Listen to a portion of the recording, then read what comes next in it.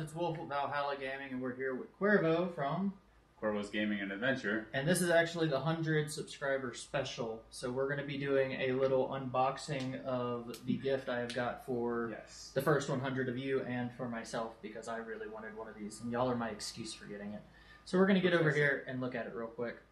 So as you can see, we have the Zotac Gaming GeForce RTX 2080, which is pretty much the most expensive graphic card I can get for staying under a grand. So we're going to unbox this baby. So let me have a knife somewhere in here. Used to. Nah, I don't care. It's. Yeah, it's alright. And it's just The box is only temporary. facts. It's only for shipping at, that, at this point. Okay, so we have opened it. Let's see what she looks like. Ooh. Comes in a very nice holographic. Oh, I hope you can see that on the video properly. That's pretty. Oh, you can. That's awesome. Alright, so let's open this up.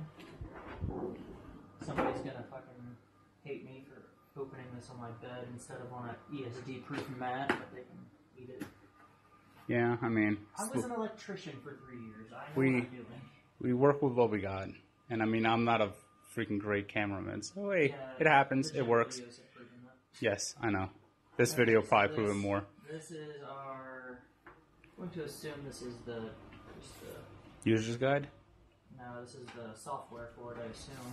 Oh no, it is user's guide. Quick Hmm. installation. Uh, all right, so we'll get to that in a little bit. So let's open her up. Some extra PC, uh, PSU cables. Let's look at this beauty. Oh, would you look at that? Would you look at that? Look at it. Look at it. Three fan blower unit. Gotta zoom out so I can actually get you in frame. Two display ports, a single HDMI, or two, three display ports, one HDMI, and a USB C. So if you want to plug your phone directly into this, you're more than welcome to. Yeah. Three. God, that is gorgeous. Just look at that. Just look at. Would you look at it? Would you look at it? Hmm.